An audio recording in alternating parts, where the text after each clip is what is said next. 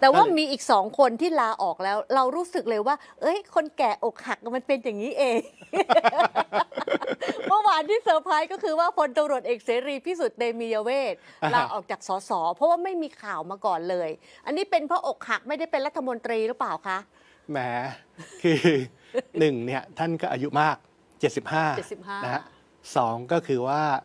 สสในสภาของเสรีรวมไทยเนี่ยมีแค่คนเดียวก็คือตัวท่านเองว้าเหวอ๋อนะครับ ถ้าอยู่ในสภาแล้วอาจจะว้าเหวไปนิดหนึ่งค่ะนะครับเอ่อ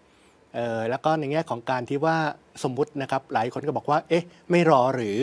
นะฮะอาจจะมีตำแหน่งประธานกรรมาธิการโอ้เป็นการตอบแทนพรรคร่วมรัฐบาลค่ะนะครับ ท่านก็คงดิดลุกคิดแล้วล่ะนะครับว่าขนาดรัฐมนตรีมันยังแย่งกันขนาดนี้ค่ะที่เขาบอกว่าแย่งกันเหมือนเอาท่านบอกว่าไม่อยากจะแย่งแย่งกันเหมือนแย่งชามข้าวหมาหมาแย่งชามข้าวกันค่ะหมาที่ไหนไม่สุภาพเลยเออใช่หมาบ้านดิฉันไม่ไม่แย่งชามข้าวกันหมาบ้านอาจารย์